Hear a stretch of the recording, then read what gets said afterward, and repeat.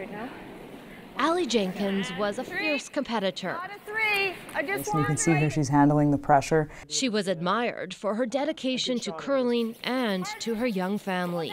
On Sunday, Jenkins gave birth to a baby girl, then died from a rare complication in which amniotic fluid seeps into the bloodstream and the heart fails, the lungs collapse.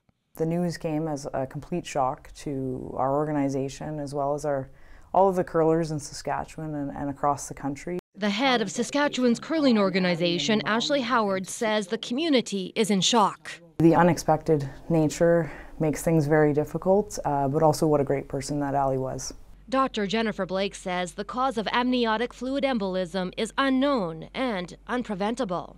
The rate is around 1 in 20,000 births. That sounds pretty rare until you think that in a city of Toronto, for example, you'd have well over 20,000 births in a year.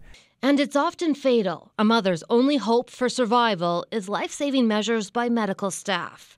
Blake says the country needs a better way to track and reduce all maternal deaths during childbirth. I don't think most Canadians realize that we don't have the system to get the data. She believes if that happened, more deaths could be prevented. Back in Saskatoon, Aly Jenkins' teammates and friends are reeling.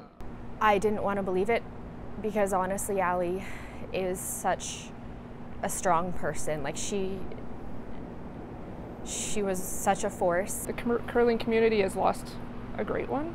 She brought it every time. She would, with the two kids at home, she'd still be the first one here for practice.